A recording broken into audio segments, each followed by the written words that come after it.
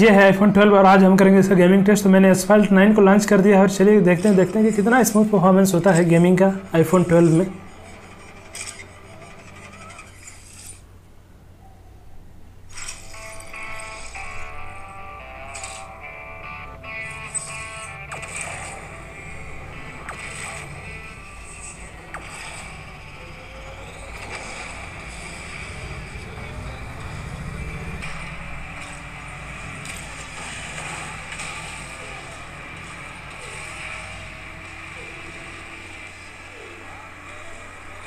क्या मैं फ़र्स्ट आ पाऊँगा?